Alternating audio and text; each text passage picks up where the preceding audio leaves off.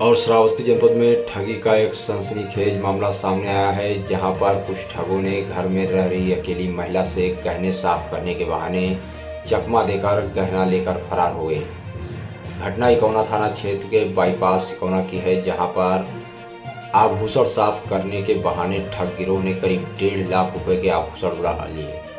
बताया जाता है कि रिटायर्ड सरकारी अध्यापका के घर में बाइक सवार दो युवक पहुँचे और डिटर्जेंट पाउडर दिखाने लगे, तभी महिला को आभूषण साफ़ कराने का झांसा दिया। महिला उसके झांसे में आ गई और अपने गले में पहने सोने के चैन को साफ़ करने के लिए उसे दे दिया।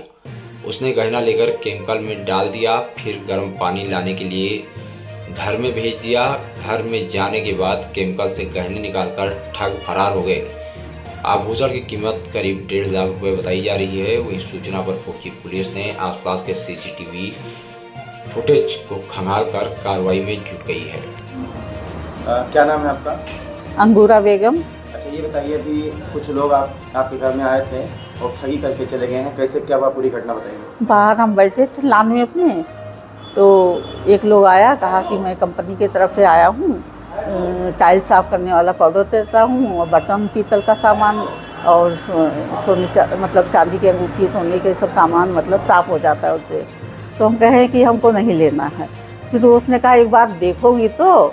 तो वो अंदर चला आया। फिर वो उसके पास अंगूठी अपना खुद का निकाला और साफ़ करके दिखाया और सोने का दिखाया कहा कितना साफ़ हो गया है। तो मुझको पाउडर पाउडर दिया। तो जो पाउडर दिया उसको जब हम अपना चैन लेकर के अपने हाथ से साफ़ करने लगे तो मुझसे आकर के कहा ऐसे नहीं ऐसे साफ़ करो। वो करता गया हम देखते गए तो उसने एक पैकेट पैक किया और फिर हमको दे दिया कि इसमें तो हम कहें जब हम सामने से देख रहे हैं। कि पता नहीं कि जब उसको खोला गया तो उसमें मेरा चैन नहीं था उसमें कंकट पत्थर भरा हुआ था। और अच्छा जो चैन आपने दिया उसको साफ़ करने के लिए हाँ। कितनी कीमत होगी उसकी उसकी कितना ग्राम था वो? सोना वो बीस बाईस ग्राम का रहा होगा एक लाख रुपए से ऊपर था। हाँ। अच्छा ये जो दो लोग आए थे किसी को आप पहचान सकती हैं? हाँ तो आपके सामने आ हाँ हाँ हम पहचान लेंगे। क्या पहने हुए थे? कैसे था। एक नीला पैंट शर्ट पहने था ऊपर से अंगोछा ऐसे सीधा करके डाला था और एक बैग ऐसे छोटा सा लिए हुए था। और हाथ में कुछ विम विम का साफ़ करने वाला और साफ़ करने वाला पाउडर कई तरह के लिए हुए था। अच्छा। और फिर दूसरे दूसरी थोड़ी देर बाद एक और आदमी उसी के साथ आया वो सफ़ेद पैंट शर्ट पहने था। और एक टीका लगाए हुए था जो नीला पैंट पहने था वो टीका लगाए हुए था।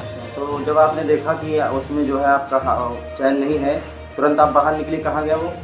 हम बाहर ही थे तो वो जा चुका था उसके गाड़ी में आए मेरा तब तक एक लड़का आ गया उससे हम कहें कि इसमें तो है ही नहीं गाड़ी देखो उसका कहाँ है। तो गाड़ी में नेम प्लेट नहीं लगा हुआ था और वो जा चुका था। तो इसके बाद आप लोगों ने पुलिस को सूचना दी? हाँ हम लोग हाँ क्या कर रही थी? क्या कर रही थी आई तो कहे कि मतलब हाँ इसे बेवकूफ़ बना के ले जाते हैं आपको नहीं करना चाहिए और हम करेंगे हम देखें उसके लिए।